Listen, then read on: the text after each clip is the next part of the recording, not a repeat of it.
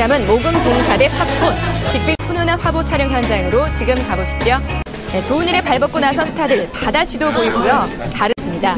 그런데 특히 반가운 얼굴 얼마 전 엄마가 된 박경림 씨도 보였습니다. 이렇게 티셔츠 찝고 이러는 거 제가 제일 싫어하는 거거든요. 그래서 저런 거는 사회 악이다. 이런 얘기를 제가 뒤에서 하고 있었어요. 저렇게 김혜수 씨처럼 섹시하면 안 된다. 그 입담은 여전하죠. 그냥 뭐 좋겠다. 예뻐져가지고. 언니 훨씬 이쁘고. 아, 그거야 당연한 거. 여전하세요.